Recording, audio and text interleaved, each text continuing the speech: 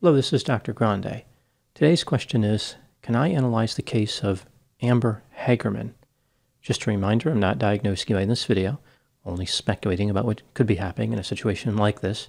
If you enjoyed this video, please like it, subscribe to my channel, and consider supporting me on Patreon. I will put the link to Patreon in the description for this video. First, I'll look at the background of this case, move to the timeline of the crime, then offer my analysis.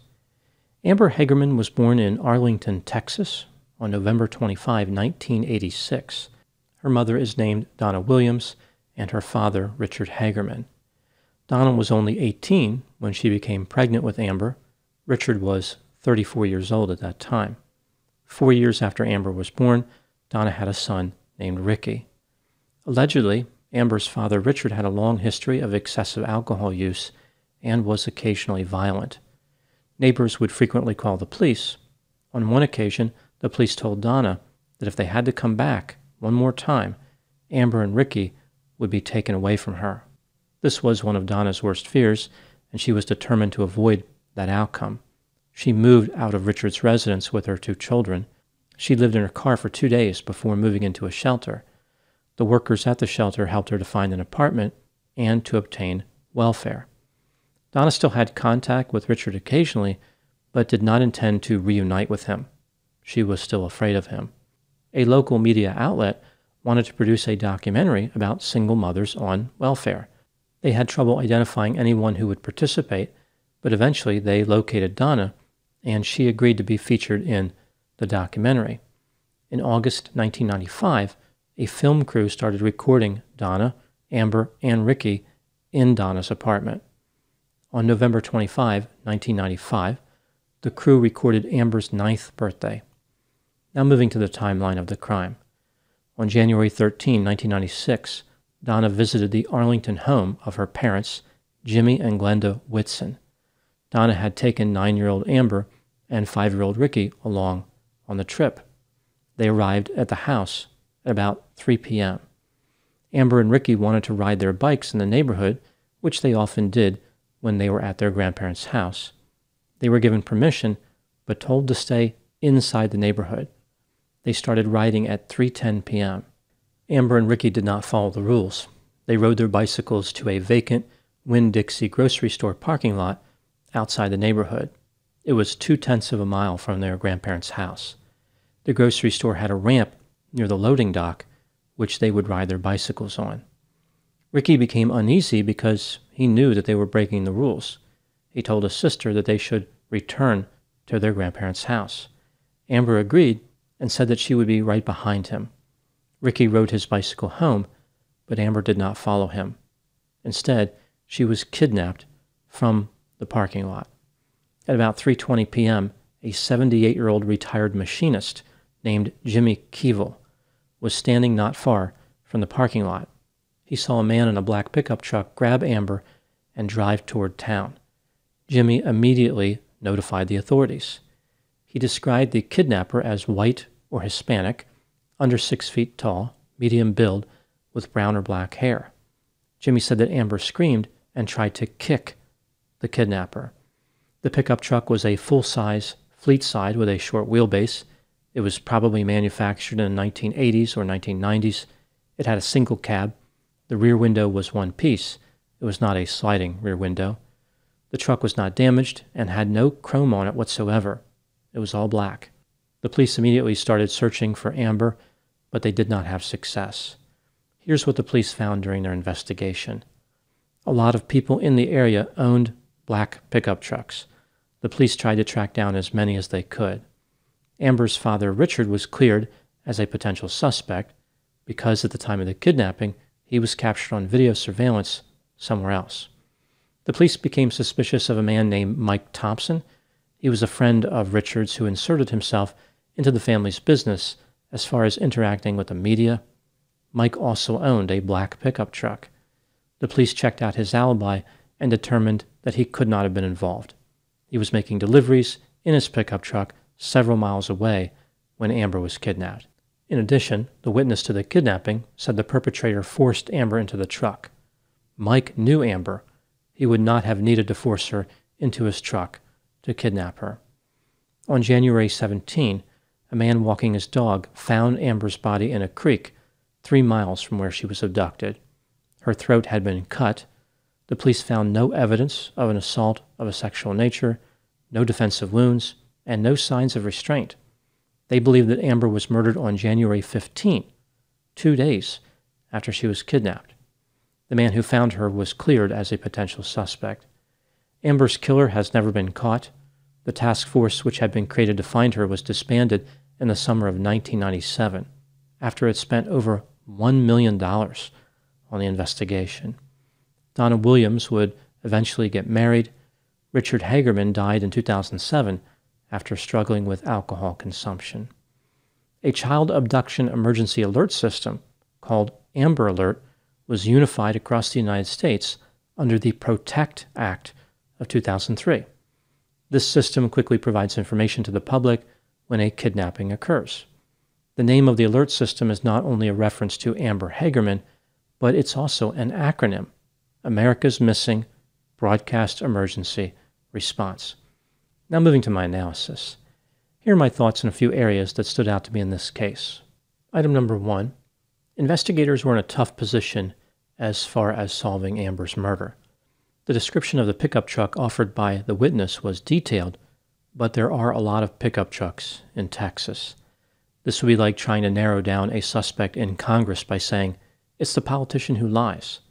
Despite this, I'm a little surprised that the police could not identify any suspects with that detailed description of the truck. Maybe the witness was incorrect about some of the details, or the perpetrator immediately disposed of the truck or changed the truck's appearance. It stands to reason that the kidnapper lived in the Arlington, Texas area, which does narrow down the search somewhat. However, in 1996, the population of that city was about 300,000 people. There was a laundromat not far from where the abduction took place. There were no windows in the laundromat facing the right direction for people to see the kidnapping, but a black pickup truck matching the description given by the witness had been seen outside the laundromat right before the kidnapping occurred. The police desperately wanted to speak to the people who were in the laundromat, but those people were illegal immigrants. They fled the scene right after the kidnapping and refused to cooperate. The police would later promise not to deport them, but the illegal immigrants would not provide any assistance at all to investigators. The police have not released all the information they have in this case.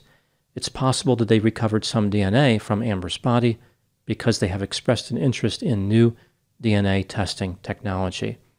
It appears as though they're in this situation that occurs in some cold cases where they only have a limited amount of genetic material and they're concerned about using it up with tests and therefore not being able to take advantage of more sophisticated tests in the future. Item number two when the task force investigating Amber's death was still in place, a woman came forward and claimed that she saw the kidnapping. She even had a partial license plate from the black pickup truck. The woman's statements led the police to questioning a man and searching his house, but there was no evidence connecting him to Amber's death. The police started to become suspicious about the woman's statements. Eventually, she admitted that she never witnessed the abduction. She was lying the entire time. She said that she felt bad for Donna and wanted to give her hope. The authorities decided not to prosecute her for providing false information. Item number three when the victim of a child abduction is recovered safely, the government uses the term successful recovery. There are two main variables that predict a successful recovery. One, the actions of law enforcement, meaning the police actively investigating the case and trying to find the child. And two, the relationship between the victim and the perpetrator. Strangers and acquaintances are the types of perpetrators who primarily represent a threat to the victims. Other types of perpetrators typically do not harm the victims. For example, family members, babysitters, or criminals who steal a vehicle without realizing a child is inside. A child is about seven times more likely to suffer harm when a stranger or acquaintance is the perpetrator. When this type of perpetrator commits a child abduction, the victim is in an extreme level of danger. In 53% of these cases, the victim is killed within one hour. In 75% of the cases, the victim is killed within three hours. Item number four The Amber Alert system is often thought of as something positive that came out of a terrible story.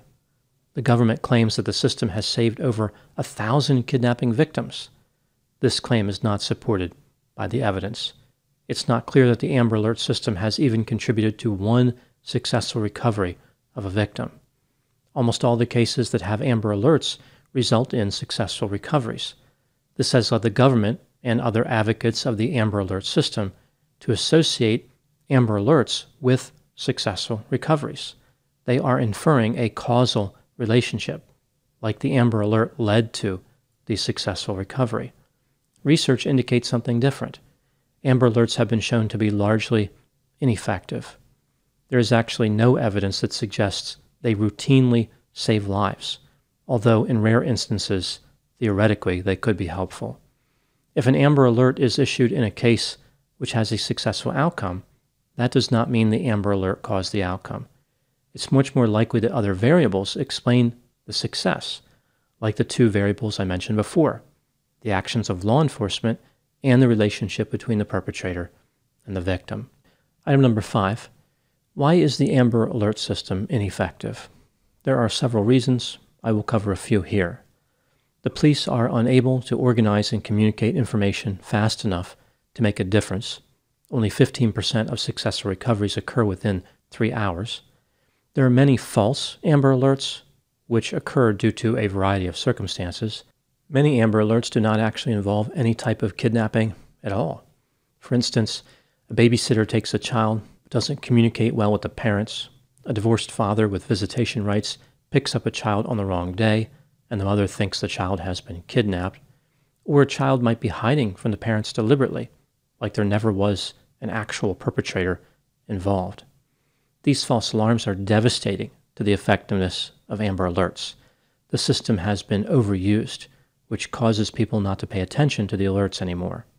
The public has lost confidence that the alerts will actually lead to a victim being saved. The success of the Amber Alert system is dependent on operators who evaluate criteria and decide which cases get an Amber Alert. These operators must determine the mental health and personality factors involved with the perpetrators. There is no way they can do this accurately. They don't have magical powers. The problem is that not enough information is known early in a child kidnapping case. After the fact, it's easy to determine which cases met the criteria but at that point, it's not helpful. Item number six some people defend the Amber Alert system by asking the question Isn't the system worth it even if one life can be saved? Well, as I mentioned, it's not clear that it has actually saved even one life, but I think the larger issue is that all programs must be subject to a cost benefit analysis. For instance, if the government put everyone with even one perpetrator tendency in prison for life, that would probably reduce abductions significantly, but is it worth the cost? Everything is a trade off, and there is no easy solution. It appears as though the Amber Alert system has been given a pass as far as rational evaluation. It is allowed to exist outside the realm of scientific analysis. No program should have this type of immunity. Amber Alert is an interesting idea and one that makes people feel good, but the reality is that dangerous perpetrators are simply too fast for the system to make a difference. There's another argument out there in favor of the Amber Alert system, which says that, okay, maybe Amber Alert doesn't actually contribute to successful recoveries, but perhaps it functions as a deterrent. I think this is highly unlikely considering that many highly tangible consequences, like prison, do not always deter crime. I think that most kidnappers are not going to worry about the public receiving a text message containing their license plate number. Again, these perpetrators strike very quickly. They don't need much time to conduct a kidnapping or to commit homicide. Now, moving to my final thoughts.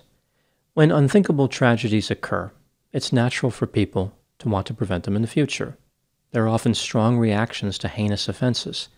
Occasionally, these reactions are not rational and lead to ineffective programs like the Amber Alert system, programs which provide people with a false sense of security. It's important that resources be used in ways that are effective.